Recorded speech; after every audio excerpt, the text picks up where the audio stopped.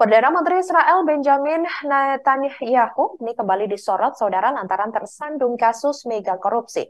Bahkan unjuk rasa besar-besaran di Israel sempat mengemuka agar Netanyahu diadili.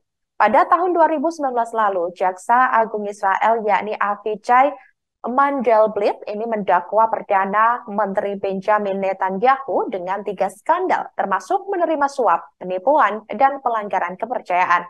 Netanyahu didakwa menerima ratusan ribu dolar sempen. Maksud kami, ratusan ribu dolar sempen dan cerutu dari miliarder Arnon Milchan dan James Packer yang diperkirakan senilai 200 ribu dolar Amerika Serikat.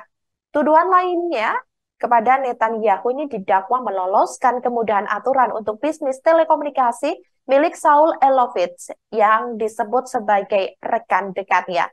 Pertengahan tahun 2023 tahun ini, skandal korupsi Netanyahu kembali mencuat. Netanyahu merupakan satu-satunya Perdana Menteri Israel terlama yang menjabat dari tahun 1996 hingga 1999 dan dari tahun 2009 hingga tahun 2021.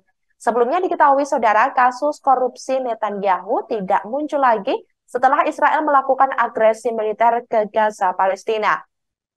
Seperti diketahui, Israel melakukan serangan militer besar-besaran sejak Sabtu, 7 Oktober 2023 lalu.